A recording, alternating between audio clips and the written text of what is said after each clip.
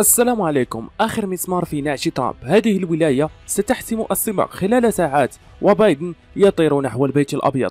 إن لم تكن مشتركا في القناة فاشترك وإذا كنت من المشتركين لا تنسى الإعجاب بهذا الفيديو. يرى عدد كبير من المحللين والمتابعين للشأن الأمريكي أنه ومع نجاح المرشح الرئاسي جون بايدن في الحصول على 264 من أصوات الناخبين الكبار تتجه العيون إلى ولاية نيفادا المحسوبة على المعسكر الديمقراطي والتي يرجح أن تعلن النتائج النهائية اليوم الخميس. وتتوافر الولاية على ست أصوات للناخبين الكبار. وفي حال فاز بايدن سيحسم السباق الساخن نحو البيت الأبيض. وتم فرز 86% من الأصوات في هذه الولاية الواقعة غربي البلاد والتي اختارت الديمقراطية هيلاري كلينتون في 2016 ويتصدر بايدن النتائج فيها بحصوله على 49.3% من الأصوات حتى الآن مقابل 48.7 لترامب.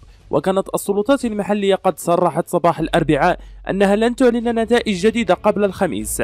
وفي حال فاز بايدن بأصوات نيفادا فلن يكون بحاجة إلى انتظار نتيجة تصويت باقي الولايات. وإلى حدوث منتصف نهار الخميس تبقى الولاية الحاسمة هي جورجيا. 16 صوتا لكبار الناخبين تصوت في غالب في الغالب للجمهوريين. وبنسلفانيا 20 صوتا وكالورونيا الشمالية 15 صوت. وأمس قال بايدن إنه حصل على ما يكفي من الأصوات للفوز بالرئاسة وأضاف أمام مجمع من أنصاره بأن الولايات المتحدة حققت الكثير ولن تقبل باستكانة أو انتصار هو انتصار للديمقراطية الأمريكية. وأضاف من الواضح أننا نفوز في ولايات بما يكفي لتحقيق 270 صوتا من المجمع الانتخابي.